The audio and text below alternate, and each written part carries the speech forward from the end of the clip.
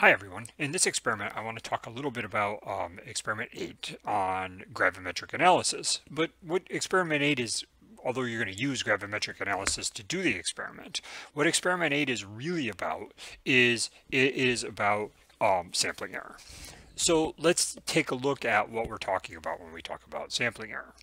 So if we have a solution, right, in a container, something like this. Sorry, I should put it on the screen.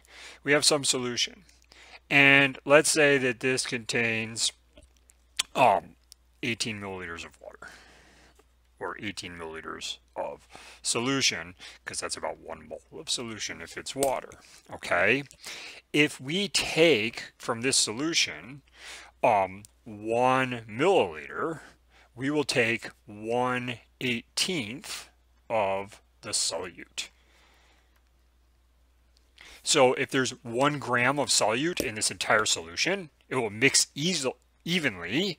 And if we take one milliliter of it, we'll take 1 18th of that one gram, whatever that comes out to be. And the reason for this is that if we have 18 milliliters of an aqueous solution and it's relatively dilute, this is approximately one mole of solution or water. So it's about one mole of water in 18 milliliters of solution because the density of water is one gram per milliliter about, and um, the molar mass is 18 grams. So this is about one mole of solution, which means that there are 6.022 times 10 to the 23 particles in this solution. So there is a massive number. And if we take 1 18th of this, if you divide this by 18, it's still a massive number. Said another way, that the statistics work out because the sample size is huge. So even a small portion of an aqueous solution, the sample size is still massive. You could divide this by 1 200th, which is probably about as little as you could um, easily get, all right, without using a, a very uh, small pipette. Even if you divide this by 200, it's still times 10 to the 21, right? So it's still a huge, huge number of particles. And since there's a huge number of particles, the sampling size or the, the sample size is big and therefore the statistics work out. So if we take 1 18th of this, we'll take 1 18th of the solute as well. Now let's look at when we have a solid. And when we have a solid, we're going to use um, uh, in this case, three different solids. First thing we're going to do is we're going to take sodium sulfate, Na2SO4, and you're going to take about 0.75 grams of sodium sulfate. And we're going to mix it with one of three types of salt. Each group will be assigned a type of salt by the C, uh, by the TA, and then you're going to have to compare among groups uh, to see about the sampling error. So you're going to use, in your case, NaCl, and you're going to use about 15 grams. But there's three sizes of salt, or said another way, there's three numbers of particles. So the first is what we call chemical grade, which is just we bought it from Fisher. Okay, I'm not sure that we bought it from Fisher, but we bought it from a chemical company. All right, chemical grade, this is kind of small particles. Then we have kosher, which is our medium particles. And then we have rock salt, whoops, which is our large particles. And in this case, you, you may even be able to count the number of particles in each of your three samples. So what you're going to do is you're going to take 0.75 grams of sodium sulfate and 0.75, uh, 0.75 grams of sodium sulfate and 15 grams of one of these three types of sodium chloride. You're then going to do your best um, to mix them together using a spatula or whatever you think is going to mix them effectively. Apparently I have an update available, okay? And then you're going to break it into three samples. Now it's very important that you know the exact mass of this because you're not going to take exactly 0.75 grams and the exact mass of this to four decimal places because that's what you have in the in the lab and that you take four decimal places um, for each of the three samples so that you can calculate how much sodium sulfate should be in each of the samples. So now the question becomes, well, how the heck are we going to figure out how much of it is sodium sulfate and how much of it is sodium chloride? And to do that, what we're going to do is use a double displacement reaction, in which case um, one thing will precipitate and one thing will not. So what you're going to want to do to do this is you're going to want to make 250 milliliters of 0.075 molar barium chloride, BaCl2, which is aqueous. And I'll leave it to you to figure out how to make that. Okay, and you're going to react about twice as much as you need with each of these three samples using one of the salts. Remember, you're going to make this as an overall bulk sample, mix it together, and then break it into three portions that are approximately equal. Well, what's going to happen here? Well, we have two possible reactions. We have BaCl2 aqueous reacting with Na2SO4 aqueous. And we have potentially BaCl2 aqueous reacting with NaCl aqueous.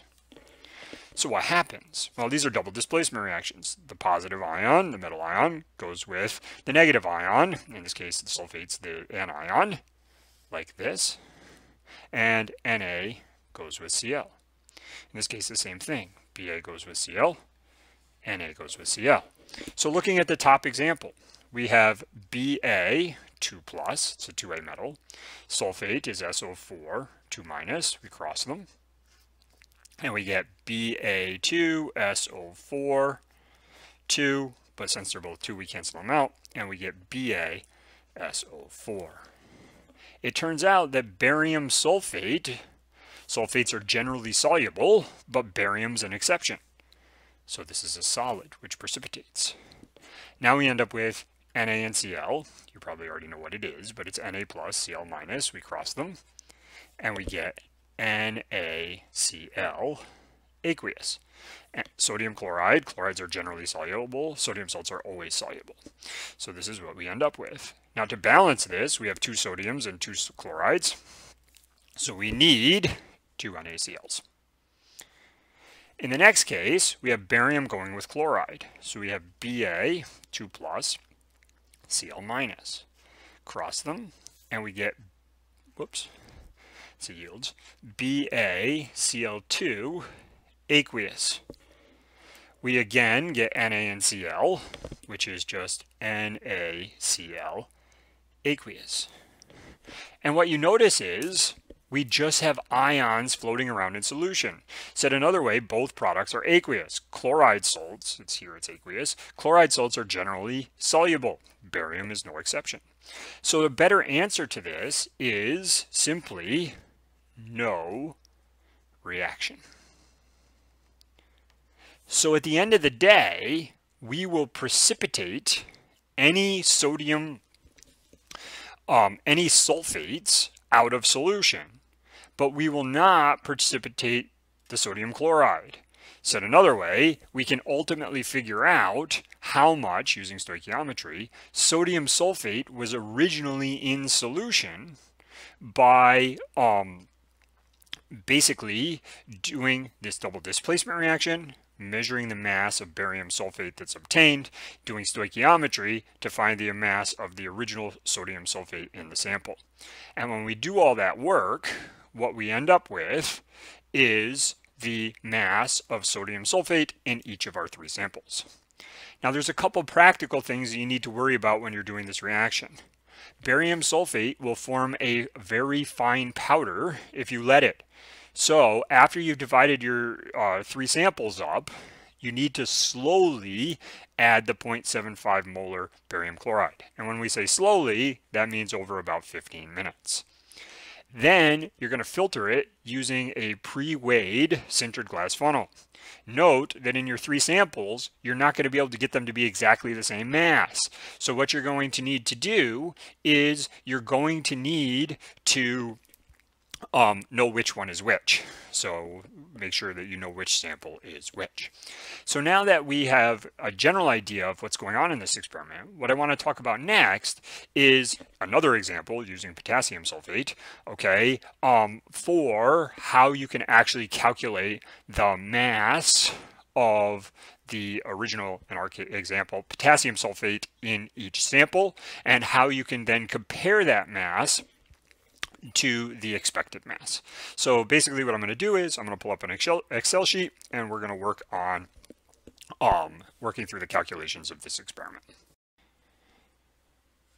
So now what we want to do is look at this for um, potassium sulfate and potassium chloride. So in your case, you're going to use around 0.75 grams of um, sodium sulfate and around 15 grams of sodium chloride. In my example, I'm using 2 grams approximately of potassium sulfate and 25 grams approximately of uh, potassium chloride. So it's a little bit different. And the first thing I want to do is I want to find the percentage of um, potassium sulfate in each sample. So to do that, I first want to find the total mass, which just equals this plus this. So now I have the total mass of the sample. Now I want to take the mass of the potassium sulfate divided by the total mass and multiply by 100 because it's a percentage. So in each of my three samples, so I'm going to take this approximately 27 grams of mixture, and I'm going to break it into three samples.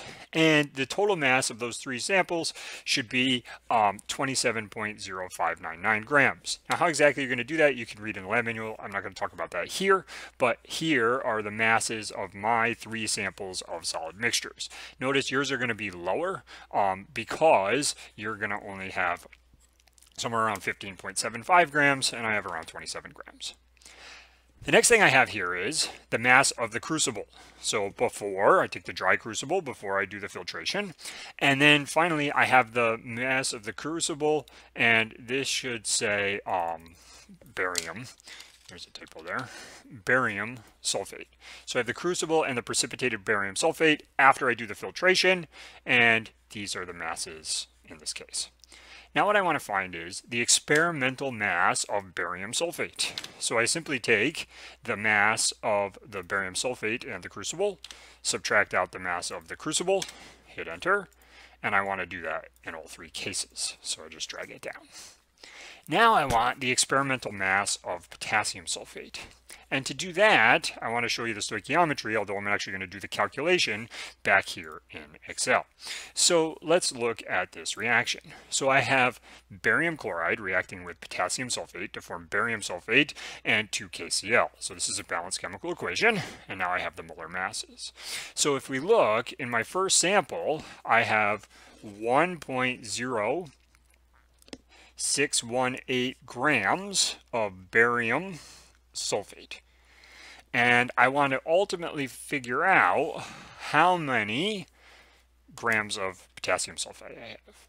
So I want to go from grams of barium sulfate to moles of barium sulfate to moles of potassium sulfate to grams of potassium sulfate. So I want to do stoichiometry.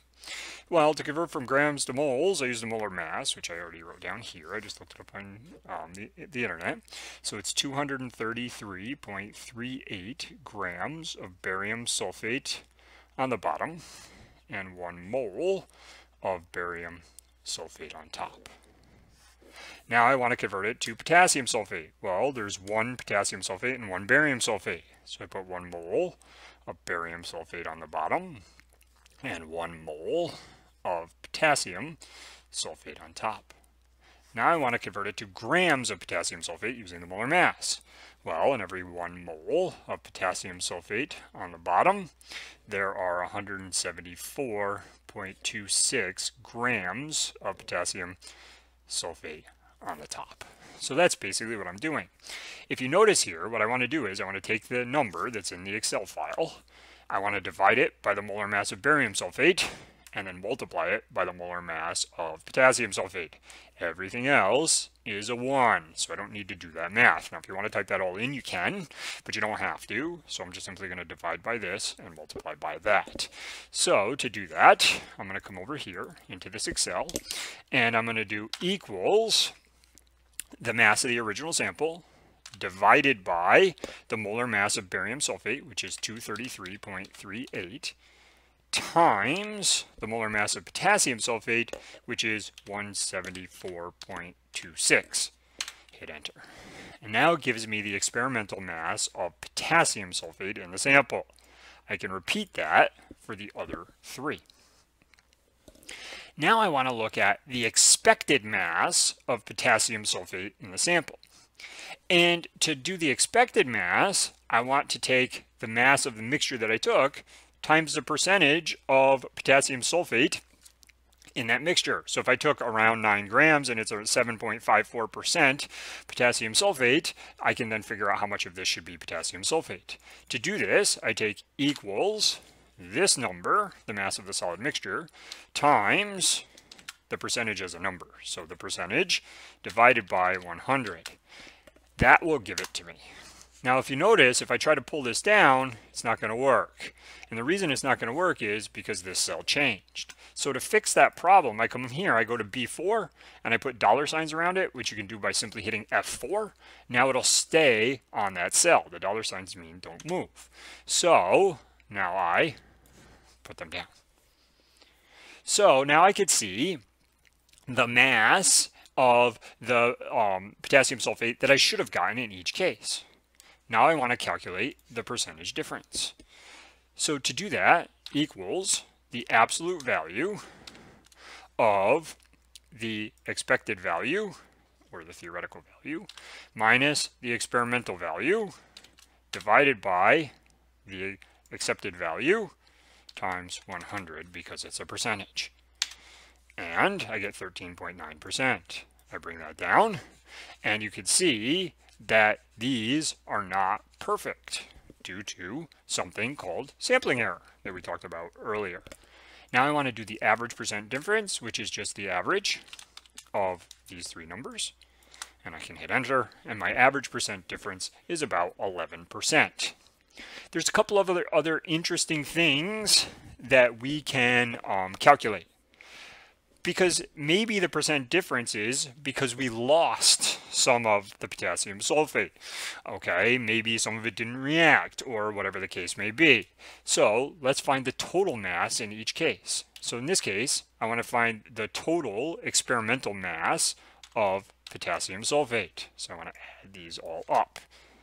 In this case, I want to find the total um, theoretical mass that I should have gotten if I got all of it.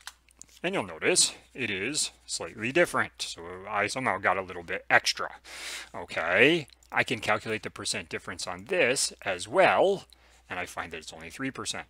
So overall, I've somehow gotten a little bit of extra mass, but the percent difference of the experimental masses to the expected masses for all samples is only 3%.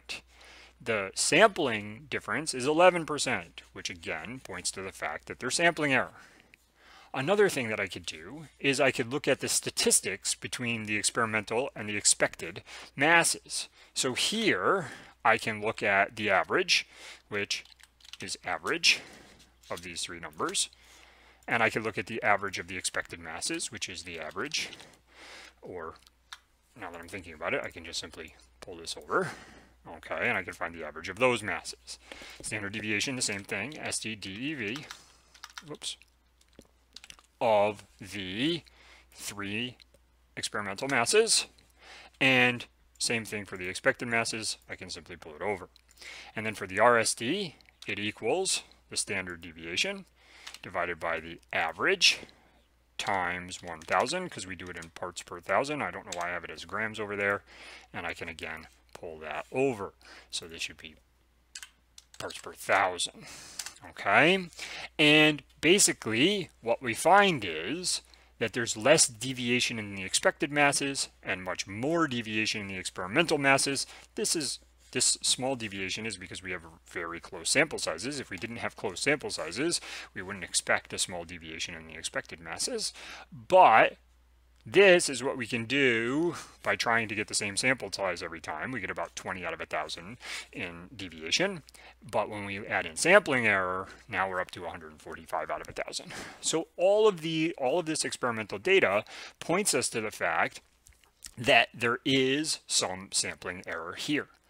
Once you do all of this math for your samples, you can determine whether you think there's sampling error or if the error is mostly from the fact that the samples aren't all exactly the same size.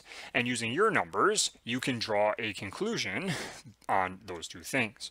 You should also talk to your lab mates in order to figure out if the small, medium, or large size of the sodium chloride uh, crystals makes any difference towards the sampling error. So I hope here I've given you a general idea of some of the math that you're going to need to be able to do um, in this experiment, as well as a general idea of what you're actually going to do. It's very important that you read through the lab experiment, especially the experimental procedure part, because we didn't talk in great detail of exactly what to mix together or how to mix it together or anything like that. There are some calculations you should do before you come, such as how do you make 250 milliliters of a 0.075 molar barium chloride solution. As always, you should also think about how you're going to divide and conquer um, this experiment. Um, remember that you're going to have to slowly add the barium sulfate, uh, the barium chloride mixture to the um, solid sample over about 15 minutes. So I would strongly recommend you don't do those one at a time, right? So you're adding a little bit to each of the uh, samples over 15 minutes all at the same time. So it costs you one 15 minutes instead of three 15 minutes. So I hope you found this video helpful and I do appreciate you watching.